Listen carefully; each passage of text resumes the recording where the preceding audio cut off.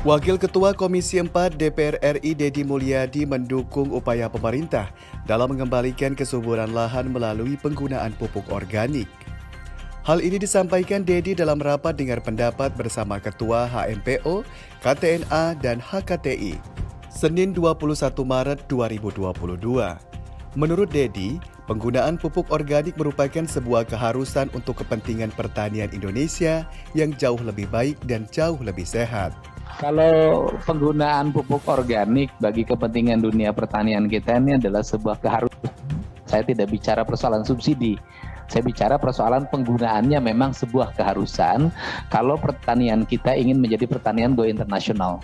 Dan pertanian kita pertanian yang menyehatkan dan pertanian kita pertanian yang mandiri, pertanian berdikari.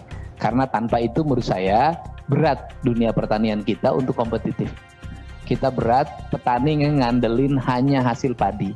Petani ngandelin hasil cabai, berat. Tapi kalau petani sistemnya dibangun dengan baik, ada keanekaragaman produk yang dimiliki, maka kesejahteraannya akan meningkat. Senada, anggota Komisi 4 lainnya dari fraksi Gerindra Endang Setiawati Tohari mendukung penuh penggunaan pupuk organik sebagai alternatif juga solusi jangka panjang dalam mengembalikan kesuburan lahan. Jadi saya ingin melalui Pak Ketua ini supaya ada grand strategi untuk 25 tahun. Jadi presidennya siapa pun, menterinya siapa pun dijalankan dengan baik. Ketua Himpunan Mitra Produksi Organik HMPO Muhammad Parto mengatakan bahwa keberadaan pupuk organik sudah seharusnya mendapat perhatian serius dari pemerintah.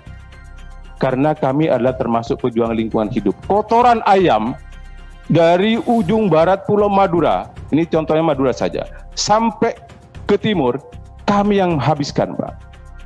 Kotoran sapi juga seperti itu, kami yang menghabiskan.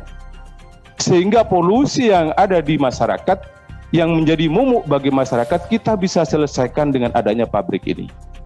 Ketua KTNA Jawa Barat Otong Wiranta memastikan bahwa semua anggota KTNA di seluruh daerah akan mendukung penuh kebijakan pemerintah dalam memaksimalkan pemakaian pupuk organik. Dalam poin 2, pupuk organik masih sangat diperlukan sehingga masih perlu subsidi dengan catatan ditingkatkan unsur haranya dengan penambahan uh, kandungan bahan organiknya baik kotoran hewan, kambing ataupun sapi.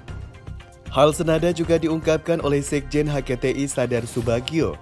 Menurutnya cakupan penggunaan pupuk organik harus diperluas secara merata di seluruh daerah. Kami sepakat bahwa tanah pertanian di kita itu sakit. Sepakat. Dan untuk itu memang harus diperbaiki. Mungkin bukan hanya dengan pupuk organik.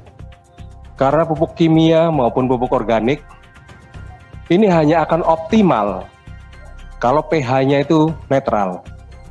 Sehingga sebelum ada pupuk organik, tolong dinetralkan tanahnya dengan dolomit. Setelah itu nanti silakan pupuk organik memang sangat dibutuhkan. Sebelumnya dalam beberapa kesempatan lalu, Menteri Pertanian Syahrul Yassin Limpo mengaku ingin petani bisa menghasilkan pupuk organik secara mandiri yang kualitasnya bisa lebih baik dari pupuk organik. Salah satunya dengan memanfaatkan jerami hasil panen raya.